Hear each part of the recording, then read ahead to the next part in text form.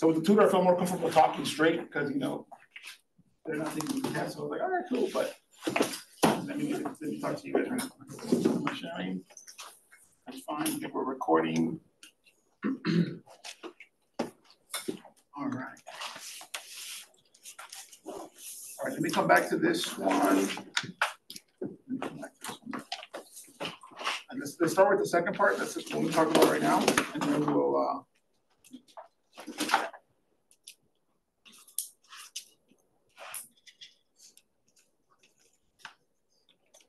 we'll go back to this stuff. Okay, so for the DNA and the amino acids, it's kind of the same thing, how much I, I expect you guys to kind of know. So you, you don't have to draw it. It's, it's probably going to be a little bit more like the, the homework for that week.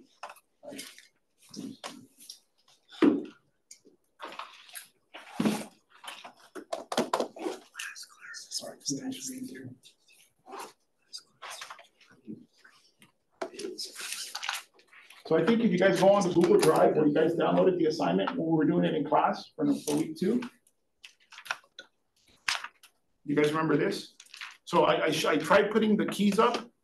I know this one's live. I'm not sure if the one for the first in class is live, but if you guys take a look at this, this is kind of like how much I expect you to know the DNA themselves, right? So remember the definitions of like, hey, what's a nucleotide, which is all three of the fragments? Oh, this one makes sense better. Like this guy, right? So nucleotide, we got the phosphate, the sugar, and the nitrogenous base, right? Um, for the nucleoside, it excludes the phosphate base, right? So you draw these two. And then we're talking about the sugar phosphate backbone, then it's just these two guys. That makes sense? Yeah. So can you can you like uh so I will ask but I could not, not I will. I could ask questions about you know this kind of stuff about structure. You want to draw them, it's just can you identify them, yeah. right? And then the the bases themselves, this is kind of at the level that I really want you guys to know. You don't have to know like which one exactly well, like where exactly does your nitrogen land or where's your, your uh, carboxyl group or carbonyl, sorry. Um, what I'm uh, asking about is more like this. Like you guys can see that the pyrimidine, right? It has one, one just a single six uh, member ring. And for that, the ones you're going to be using is cytosine, uracil, and thymine. Right, so that's where I do my thing that helps me remember. It's uh, to build a pyramid, you cut one stone at a time. So then pyrimidine, CUT, and one circle, like that one stone. Then the purines is the other way, which is now we have two rings, one five, one six. In my head, as long as you remember you got two rings, and then add them one. Does that make sense? So you don't have to be able to draw them by memory, just recognize them when you see them at this level. The back, the DNA itself, again, same thing. I'm not gonna make you draw it. I just need you to know what they're labeled. And the other one for that one is uh, you should know uh, the important connections, right? And we for the DNA, we normally we study it off the sugar. So when you're looking at that sugar, you got to be thinking about this. There's an oxygen here. Then you have your first carbon, your second carbon, third carbon, fourth. This connects this way. And there's a fifth carbon hanging out out here. Right? When we talk about the DNA, the three that matter is going to be number two. Right? What does this one determine? DNA. Say RNA and DNA, yeah. If you have an H, you know what we're we talking about? DNA. There you go. Now? So notice the second carbon gives you this. What is the third carbon? Oh, the third carbon, what does this one work with? Um, it attaches to the oxygen on the phosphate backbone. Yes, sir, exactly. This would be the phosphate group of the next molecule. This is where you basically make a linkage spot to make the chain keep growing, right? And then the other important one is number five. And this is where you have, where you have what group do you have there? Z? Wait, where's the, what, what, what group is that? Uh, the phosphate group. Phosphate group, yep.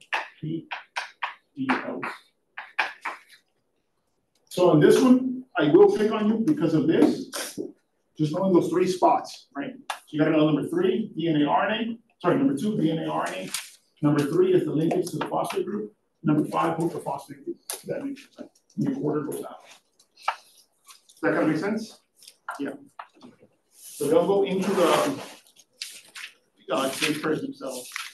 same thing like that. And again, who start who started studying their amino acids?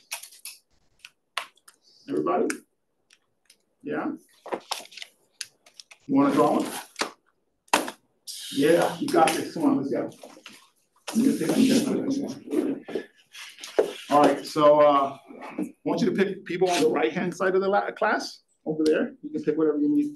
So, for example, to draw an amino acid, um, what are the five parts that an amino acid has? R group. Uh, you got one R group. Amino group. Yes.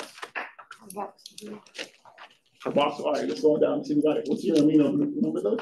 You don't have to draw this for the test. I'm just, just make sure you get it. Uh, I know the name, but Yeah, there's a one, one with an H. Nitrogen, There we go. and then two hydrogens connect to the nitrogen. All right, and then uh, what else do you have? You see your carboxyl? Yeah. I won't make you do this on the test, but it's good that we know. All right, carboxyl, and then what else do we have? R group.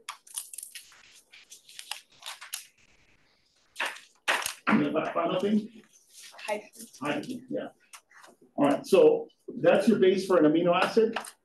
You won't have to draw them in the test, but you would you would have to recognize them, right? So um, let me see. Is so. All right, go put the labels on these guys. Do we need to know about all the, like, different types of bonds, like, between the different macro, macromolecules, like peptide bonds? Uh, wait, let me get to that one. Let me finish this real quick and then we'll jump. All right, so let's say I told you to to um circle the amino group. This is your amino group.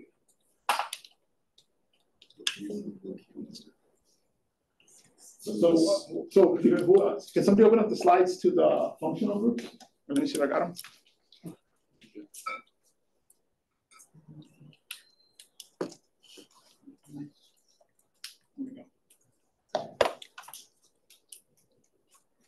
So this guy's right. So we're talking about the amino group.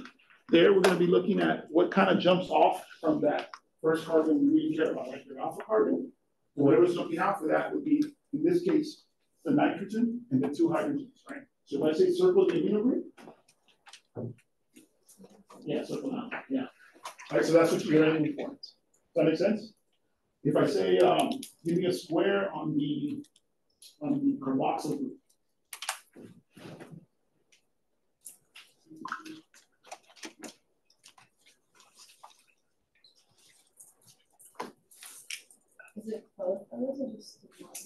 So for the carboxyl group, you're looking at the carbon and all, and all the oxygen groups with it. So, right? So that'd be your carboxyl group. Is that making sense? I believe in that PowerPoint for that, uh,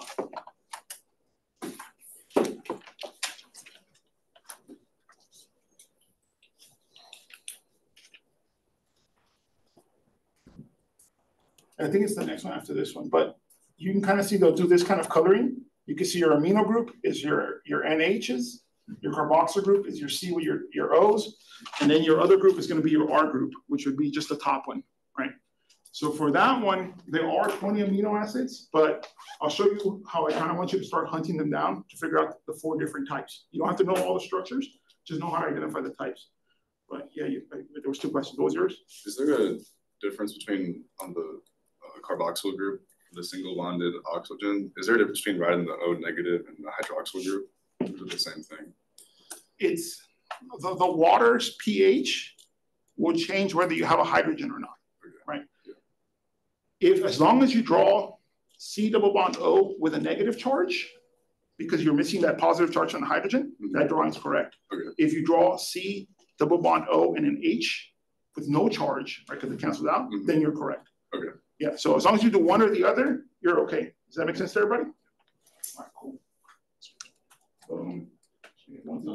So in your notes, you guys, amino acids, five, five groups, right? And I'm bringing this up because the important ones are basically these two, right? Because remember, if, if I told her, hey, draw the next amino acid here, or if you remove the next reaction, it would show up here, and then and nitrogen, the amino group, is the one that links up to this oxygen, with that H, you give it a water, then you up, and you have your next amino show up. Yeah, so that's kind of like for DNA, that sugar phosphate backbone, like this, where you have that linkage from five to three. You amino acids, the connection is you start at N, you go through the carbon, right, you carboxyl group, and here you show up the next amino acid like this. And carbon, carbon, like that, right? And here would be the next carbon. It only has one H off of it, right? Or would it have two? That's one. So nitrogen, uh, the only thing I remember from the whole chemistry part is nitrogen needs three partners, one, two, and that's your third one. so you're- You're not gonna have to draw that either, but I just want you to remember, like, that's the connection on how you're making the chain.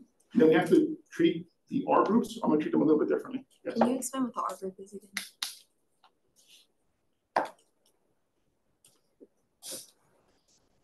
Okay.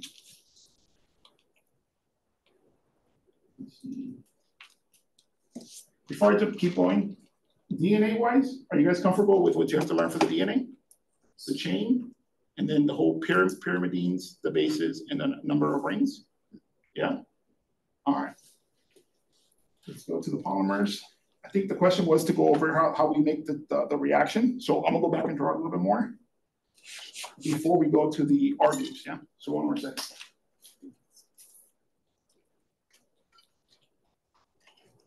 So in this case, I have the slide on my drawing stuff.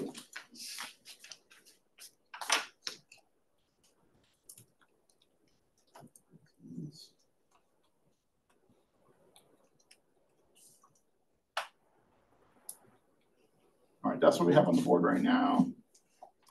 This one, Here we go. All right, so for this one, there's what, uh, Cody, no. Yes, Cody drew it, right? You have a first amino acid, it starts from the end. There's his alpha carbon, there's the carboxyl group, right? The two oxygens. There you can see that this oxygen is gonna steal the hydrogen from this amino group, right? So it's gonna take two hydrogens with it. If one of the hydrogens left behind, like, excuse me, what is your name again? Morgan.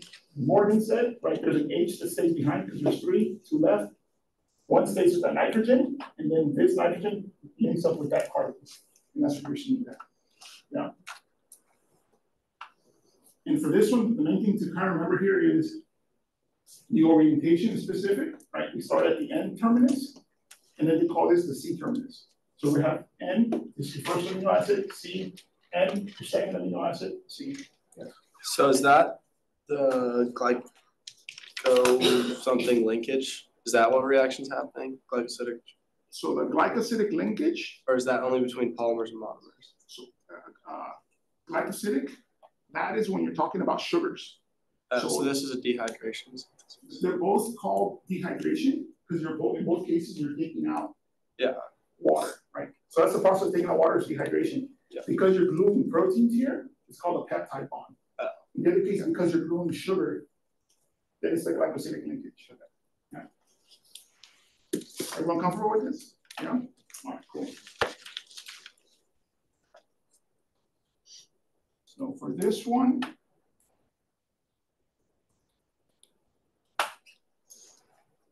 This. Let's make sure.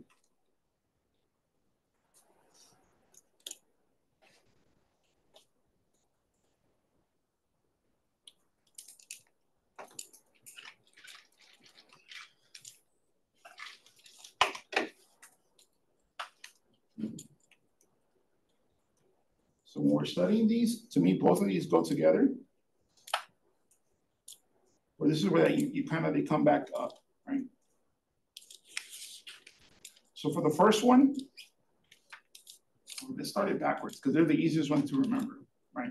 Um, for the proteins, the R groups, I just want you to know that there's four different types, you know? And what I kind of, the way I remember them is that I look for specific functional groups, and those will be my clues to what type they belong to. Yeah. So if we start, okay, you guys started making your rules for this, guys.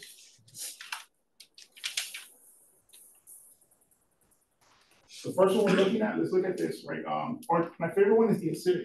If you have something that's acidic, and what's something that you guys see in the R side, in the R side of the group, right?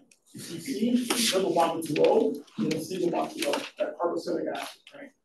So if you see C, O, O, negative charge. When you see this, you know you're working with an acid. So whether it has one carbon in the middle or two carbons in the middle, as long as you see this show up, you should in your head, you should be thinking that amino acid is an acidic, has an acidic, uh, carbon, right? Let's look at the next one. We're looking at basic, right? What are, what are we looking at? What are we seeing, right? Nitrogens. That's right, right. So you can ignore the carbons. What are we seeing? NH3. Plus, you're seeing here in this case, what I look at is we see that we have two nitrogens stuck to, to, uh, to a carbon, right? So you see there's a carbon there, NH2, and NH2 plus, right? And here I see that NH plus sticking around, right? So we have NH plus, carbon, and carbon. But what you're looking for is this NH plus, NH plus, NH plus, NH plus. That's my basic stuff. Then we have, uh, the next one is gonna be our polar group. Right, what are we looking at? We're kind of, uh, hunting for the polar group. Oxygens. That's right. What's the difference between this polar group and the acidic? So the acidic has a carboxyl acid. Yes, and sir. The polar is not What's OH called? hydro. Hydroxyl. There you go. So hydroxyl is one of the ones you're gonna see a lot, right? One, two, three, even though it's after a ring of carbon, doesn't matter, as long as this is at the edge, you know what we have, right? One, two, three. And uh. So OH is one of the patterns. If you see a carbon going to a loose SH is another pattern, right? AKA my favorite amino acid, I don't know who acids, but you know, this is the one that helps fold up your protein, so it's super important. SH, and then the other one is this double bond O and the NH2. Right? If you see any of these three markers, you know we're working on the polar side chains. Yeah. And then once I do that, sorry, polar hydrophilic HP, right? Then we get to these. So these are, remember, they're the boring ones where stuff is hidden, right? Hydrogen, boring. Methyl group, right? That's the only one that's non-polar out of all these. It's the, methyl group. If you see carbon with hydrogens, it's going to be on the non-polar, uh, and it's going to be on the hydrophobic side, right? Carbon, carbon, carbon, carbon, carbon, carbon, carbon. Only one nitrogen. So at that point, if it like you see here, we're looking for like those NH3 pluses or the charged ones. If it's not charged, it's going to be non-polar. Non-polar, same thing. We got carbon. Here, there's, there's sulfur, but it's hidden inside. So it's still going to be acting like a, a, a non-polar. A, chain, a L shape a, uh, like a methyl group on the side of the chain, non-polar, methyl group at the end, non-polar, methyl group, the short version, non-polar, right?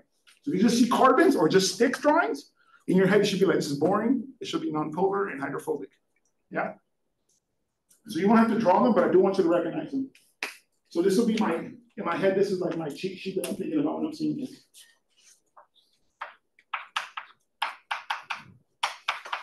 Yeah. So do you guys feel comfortable picking these out, identifying them?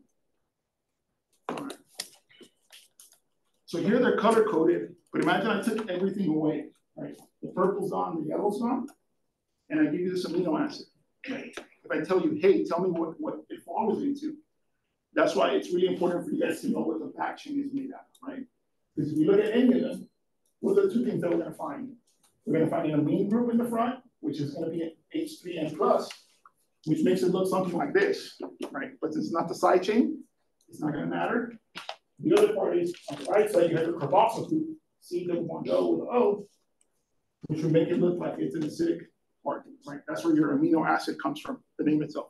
Don't get fooled by these parts. You're like, hey, once you find an amino group, a carboxyl group, then you're wondering from this central alpha carbon, what's going on above? And you use this table to kind of get you to pick what, what group it falls into. Yeah? All right. that answers most of the question on this side, but I believe Morgan's question was still left behind. You answered it with the the drawing, I did. with the peptide bonds. I? Okay. You're good. I feel like you said polypeptide. Maybe I was wrong. No, I was just wondering if we like needed to know the different types of like linkages between the macromolecules. And like the glycosidic linkages, but you answered that. Okay, So yeah. Okay, perfect. So there it's getting rid of water, it's called dehydration, but then based on what you're gluing, you give it the name of what you have, right? It's either proteins or peptide bonds or the sugars, yeah. Alright. Cool.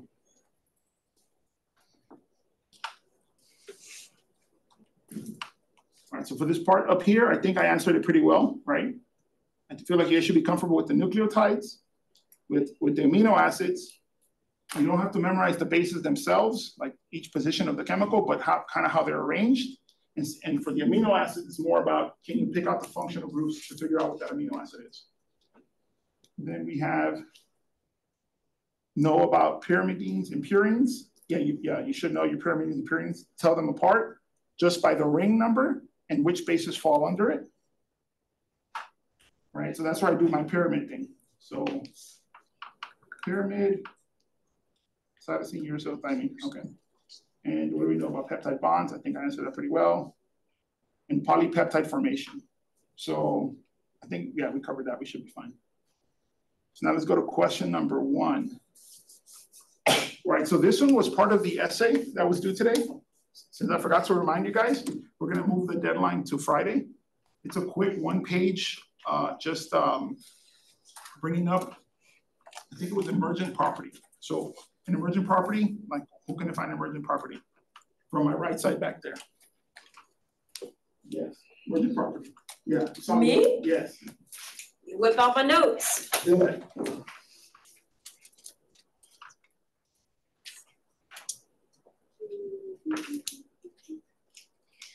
Emergent properties, okay, in approaching the whole to understand the parts, like thinking what's a cake made of, and then you go through the specific ingredients.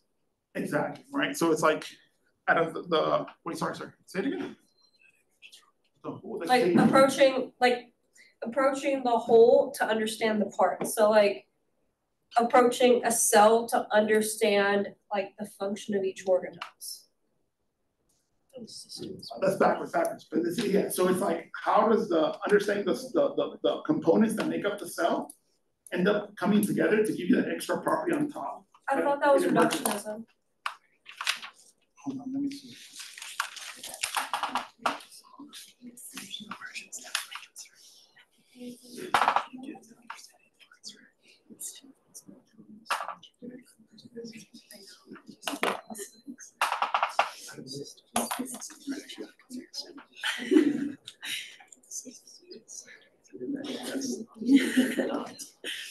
Yeah, so reductionist approach is kind of how you said it. You grab, like if you want to study a cake, and you start breaking down what each one can do, right?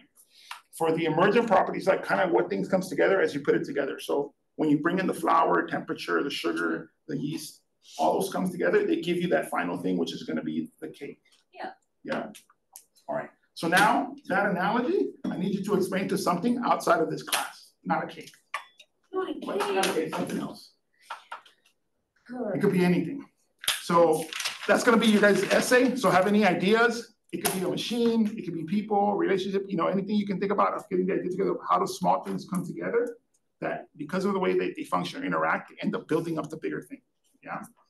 It's informal, I don't need resources, you could just, you know, throw in ideas and then we should be good to go. But bring up that, that idea that when you bring up, uh, understanding the parts, and as they come together, they give you something extra or something that the parts themselves couldn't do. Yeah, yes. So basically, the difference between reductionist and emergent is that the reductionist focuses, like it says, on the isolated components or the specific parts, whereas emergent focuses on the broader properties that come out of the parts. Exactly. So normally when I have this table, I was like in my notes, I literally have arrows? So it's like we're going from really small things like atoms and molecules.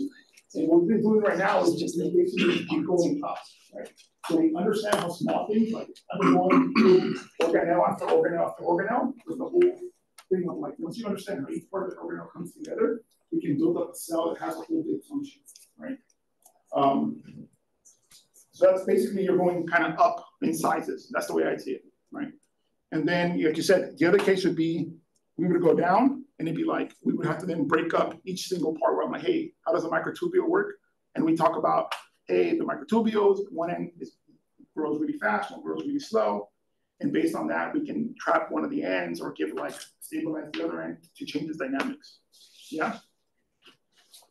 But you're right, it's the, the thing that we're focused on on our study, right? Is it if it's the small thing going upwards or if it's the big thing and we're going down in size. Does that make sense? No? I see lost eyes. Okay, I see if you had not, so I'm gonna take it as a yes. So give me that paper.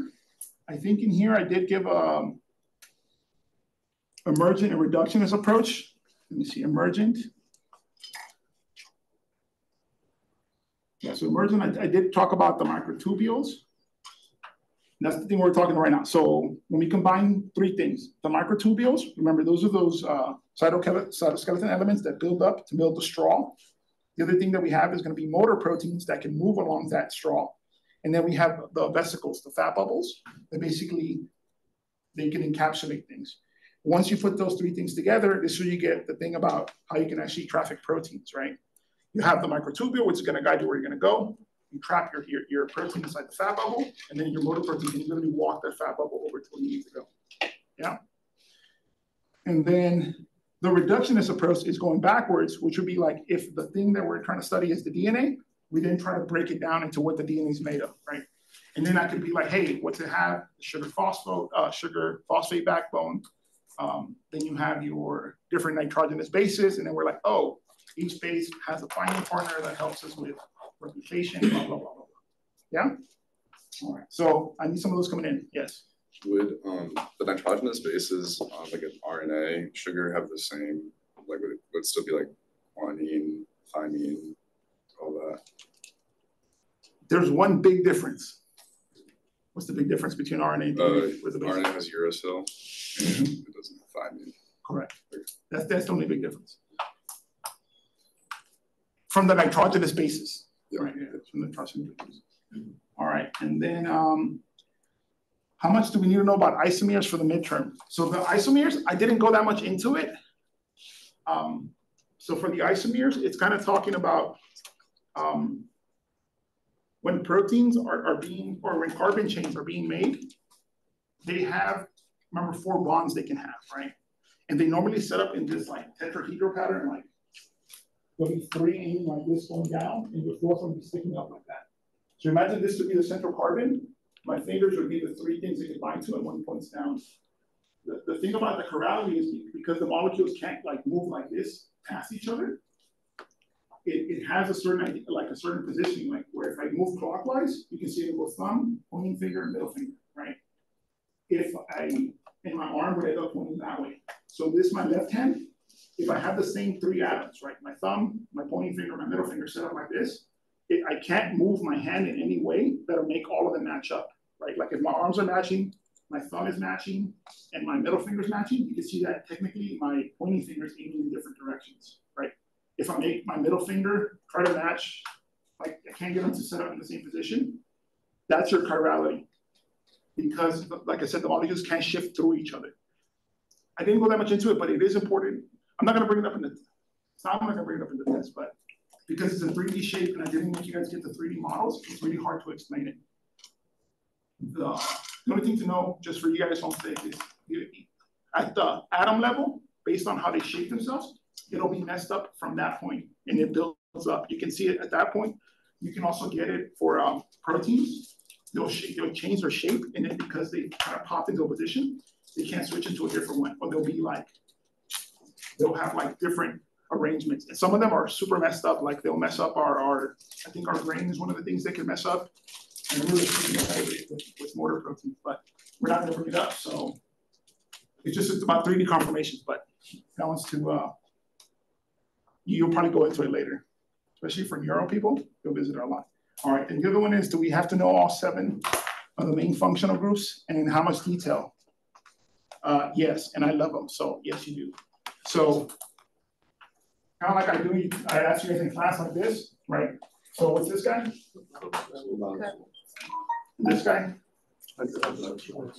Yep, and then you have the C double bond O, what's that one? Carbon. Yep. Um, yeah, so know all of them like that. You should be able to see that when they come off a carbon chain. Make sure you include the, um, all the elements, right? Like, for example, here you have an amino acid. If I'm talking about the sulfhydryl, right, it's the S and the H. Here, we're talking about a phosphate group. It's the phosphate and the four oxygens. So you you encapsulate the whole thing. And the other thing to note here is that only the methyl group is non-polar. Everything above that way is going to be polar. Right. All right. Any other big questions? Because I think that's all from the review session form.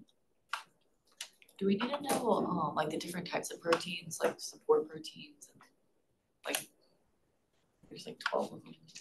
What do you mean? The, um,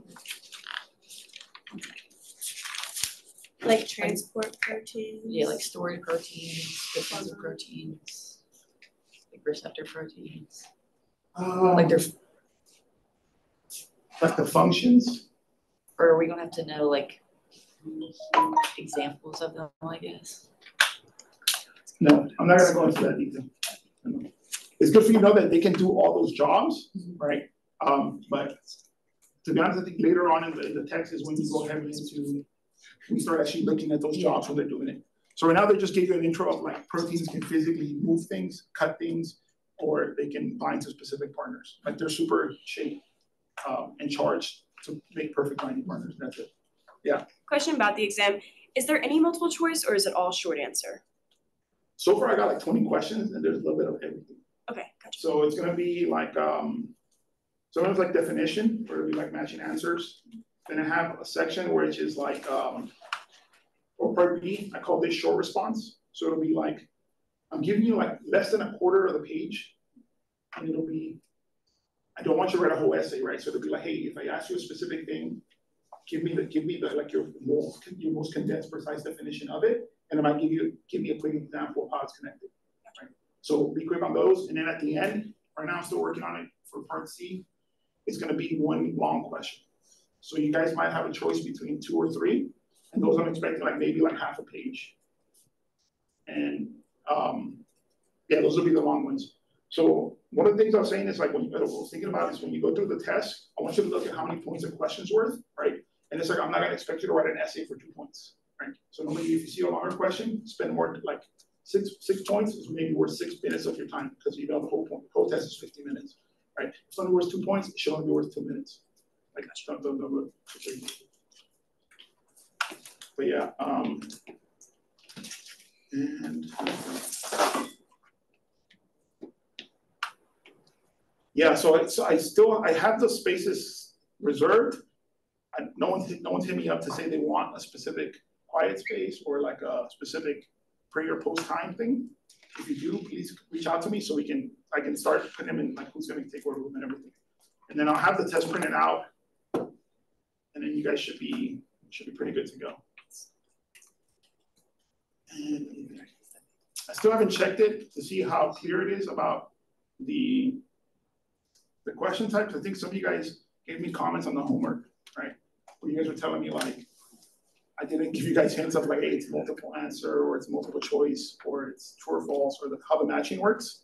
Um, so I'm gonna try to be better at that on the quiz itself. Um, because in one of them, I think it was like, um, I asked you guys about microscopes, right? And I was trying to get you guys to think like, hey, what technique can you use? And it was like, one of the things I was trying to be exaggerated, but like for the elephant leaf, it's like this big, like it's a huge leaf, right? There, if you guys remember the drawing where we're talking about the microscopes, it's like a microscope, because it zooms in so much, you can only capture a really small portion of, of, of tissue and you can't see anything else. So if you're trying to take a picture of something that's two meters big, you know, your microscope, you'd be there for like a year just taking pictures over and over, trying to get to the whole thing. So for that, you can only use the uh, the light microscope. Oh, sorry, the light microscope, not the light. Uh, your eyes or a camera, right? That's that magnification from uh, kilometers to uh, centimeters. It's kind of like where our eyes I mean, mine probably, at, you know, I, I don't know if I'm making centimeters now, but you know what I mean, like, it's, it's limited, right? Then you shift over to the next window, which is, the second part was, for an example of, um, if we were looking on the surface of the leaf itself, and we were looking at cells that are like microns by microns. And there I wanted you, there I kind of messed up, or maybe my question was too clear was, what can I use to image that? And if you look at the range for a light microscope and the range for electron microscope, they both overlap. Like you, can image uh, microns with both of them. So the, the, the second answer was you had to put like the for that second sample on both light and electron microscopes, it would work. So that's why I was a little bit off. And then one of the ones that I messed up was uh, I think almost you got it right was for the question talking about the mitochondria and the Golgi, right? So what does the mitochondria do? ATP production. ATP, yes. And then the, the Golgi? Transport. Transport, yeah, but I spelled mitochondria with uh, an extra R, so everyone got it wrong. Um, Uh, so I need to fix that right now. Yeah, I think I was tripping out because it kept saying other, and I was like, why does it say other? And everyone got it wrong. I was like, doesn't make sense. Um, but yeah, so that should be good. All right, so I'll try to, I'll try to make it clear about those. The matching one should be okay. And um, I haven't done any fill in the blanks yet, but I think those might be a little, um, oh yeah, I do have a fill in the blank question. And it's like, it asks, like it gives you a story of how something works. And then I give two different types of examples. Or I like how it works in different organisms. So when I put one organism and the other organism, and I'm expecting you to answer it. Yeah. All right, any other big questions? Small questions? So what percentage of the test on Wednesday will be like from chapter one and like chapter two? Since that's like an introduction to like what we So let me think. So chapter one was the, the unifying, uh, like organization. yeah. Um, I'm trying to divide it pretty evenly. Okay. Yeah, so I feel like the first one, because it's, it's a way to, or like how we appreciate bio, right? It's like, feel comfortable with the themes, right? You should feel comfortable with them. Like, uh, information, um, what was the other one? Um, Energy and matter. energy and matter.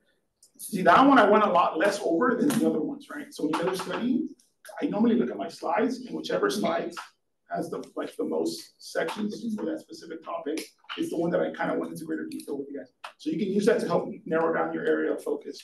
Like, like this question shows, right? Like it's like, hey, I didn't go over isomers that much. So it's like, you know, I'm probably not gonna ask about isomers, right?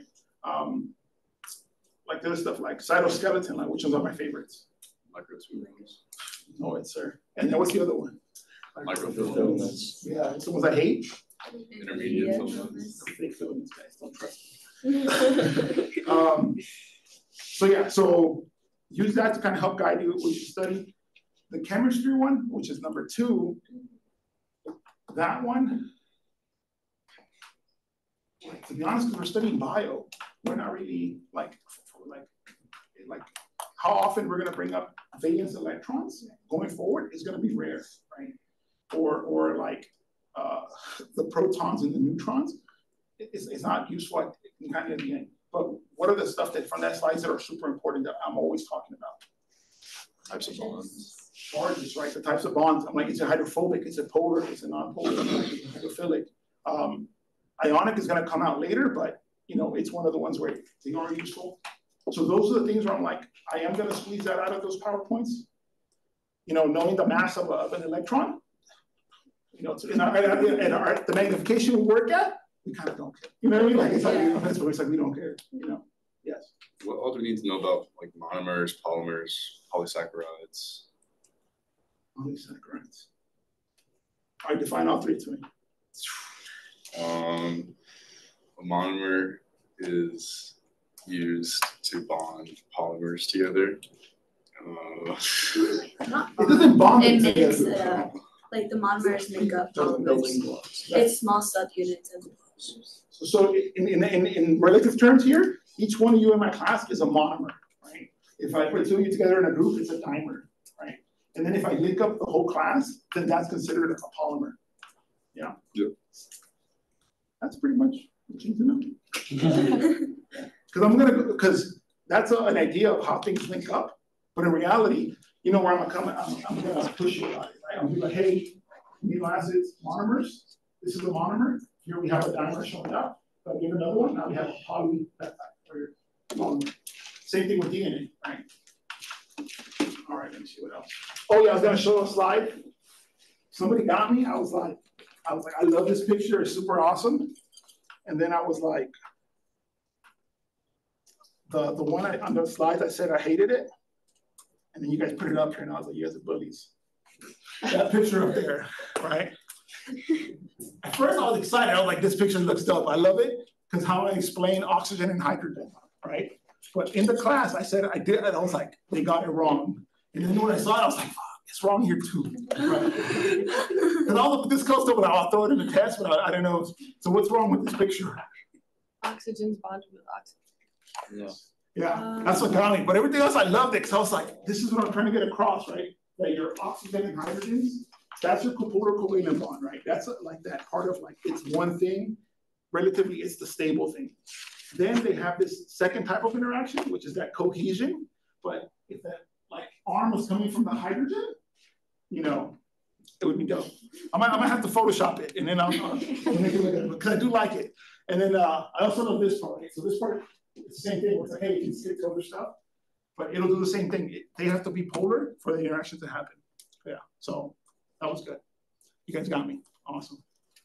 And let me think. So slide three, no lecture. What was lecture three about? Water. Yeah, you gotta know water. That one, everybody loves water. Um, so water with its hydrogens, electrons, I'm, I'm like I said, I'm not gonna go heavy into the electrons for water.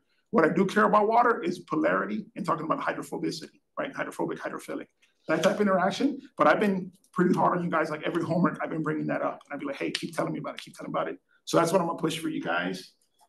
Then, to be honest, it's like when you figure out all the stuff that it can do for us, like the important things, right? How it can bind to itself, how it can control temperature by taking up a bunch of energy and avoiding the temperature to rise, or it can freeze things, or it, when it freezes, it expands, so it floats. Those are like the big properties of, of what help us in life. So those are the things where I'm like, hey, make sure you feel comfortable with those. And the fact that all of them are coming from like, this hydrogen bond, yeah. Lecture five. All right, let's see this one. Um, so for this one, again, it was a way to introduce you guys to the other ones. We've done carbohydrates very little, which are sugars. I've talked a little bit when it talks to the cell wall, or like you said, your example of monomer, or what's it called, uh, monosaccharide, disaccharide, and the polysaccharides. You guys seem that I've been a lot more heavy on the proteins and the nucleic acid. Yeah, so still go through it, feel comfortable with the other ones, know the definitions, but you know that the ones I'm gonna focus on the, a little bit more on is gonna be your your, your proteins and your, and your DNA, because those are the like the, the, the stuff we've covered so far really heavily. Um, yeah, I feel like the steroids, I, I, I like sprinkled it like it was salt on food, like it was just like steroids. They have functional groups, right? So go light on the steroids. The phospholipids, that one, uh, what are the key things you have to learn about phospholipids? Hydrophilic. Hydrophilic. Exactly. Two parts, know which one's the hydrophobic, which is the hydrophilic, and then know how it's super important to building shells around organisms, right? Around organisms and around uh, what are they called, organ systems or organelles, right? How to build shells around organelles because they basically act like a sphere of a particle's its charge is going to affect, and its size will affect if you can make it through. And for the most part, it's going to act like a shield. All right. Number six, the nucleic acids. Just know everything. I love nucleic acids, so I'm just kidding. I just know the stuff that I went over, right? Here is how the chain works, how to call it out, like how it's patterned, and then just know that there's four different types of bases. Those bases, they give us some cool benefits, but it's like what we talked in the homework, right? It's information in the order they appear. Because of their hydrogen bonds, we can create copies of it. One of them is for replicating, the other copy is for your RNA to make your protein. So that, that ability to temporarily bond with hydrogen bonds is the whole reason why we're able to do so many functions at low energy costs, right? Because if we had to make and break covalent bonds to bind DNA, know, to make an RNA, it'd be super expensive for us. All right, DNA, RNA, phosphate bonds. I think I went over this one pretty well. Mixture rate for the proteins. Um, yeah, so this one, same thing. Know the five parts, the carbon and the four things that attach to it, and then uh, be able to call out the groups. This, let me think for this one, for the different structures. I feel like I went over it, but I don't know how in depth I went over it with you guys. You guys remember the primary, secondary, and tertiary stuff? Yeah? All right. So this one I think would be, I think definitions, I I don't think, I think we barely hit quaternary, or I would just two proteins working together. So normally it's you kind of stick up here, like primary and secondary, which will be primary is just the amino acids in a row from N to C. Secondary is if this backbone, right, interacts back with itself, it'll make coils, or it can make like big, it can make the it's called beta sheets. Yeah, beta sheets or alpha helis. That's pretty much as much as you need to know for those guys. All right, no notes on that one, huh? You guys are good? I think this is when we started talking about the organelles, right? So I started bringing up the, different compartments there. Know the name of the organelles and know what they do, right? So I remember I was telling you guys, figure out your keywords for each organelle or that key function. Um, so then uh, feel comfortable with those. The other one is cells two, what was this one? The cytoskeleton, no, this is the last one. I think the first thing was the membranes, then it jumped into like the organelles and how they each bring different things. You know there, I'm gonna love to put some compare and contrast stuff, right? Because there's where we brought up eukaryotes and prokaryotes, right? Uh, eukaryotes, us, the fancy, the fancy cells, right? We have all those different compartments, we're bigger, we hold our nucleus, our DNA in the nucleus, and then we have to work through these different membranes. Prokaryotes, they're lazy, they're just one single cell, they have everything in the mix. Makes it easier for them to just make our DNA right where the RNA is at. Uh, to make RNA right where the DNA is at, they can make their proteins all locally. It doesn't need to go through different membranes or different compartments. And this one, you guys already talked about it. You know my favorites on this side. Uh, yeah, so these two bold, this is like lowercase bold. and then um, this is important because now we're getting into, this is everything inside of the cell. Or sorry, yeah, this is inside of the cell. And then here's the jump to outside the cell. So no, feel comfortable with these two, right? Which is the difference between an animal and a, and a plant. Uh, remember, I love plants, but I think they went more into detail with this one. And these type of jugs are also important, right? Um, they help communicate across cells. That's one thing. They also can function to help attach them to each other, which I think this is your desmosome. And then finally, your tight junction is that's a function that they do together for, for, for the organism as a whole, right? That's the one where they kind of build like a wedge around themselves. They kind of act like a shield where no liquid will pass through any of the cell parts. And that's it. Start studying, go through the organelles. The big thing I want you guys to be thinking about is how are the stuff working together to build up the cell, right? I'll see you guys here on Wednesday. I'm wearing my coat because it's battle time, you guys. It's gonna be serious. 55 minutes, and then you guys. I have office hours today after this for two hours, tomorrow morning from 9.30 to 11, Wednesday morning from 9.30 to 11. There you go.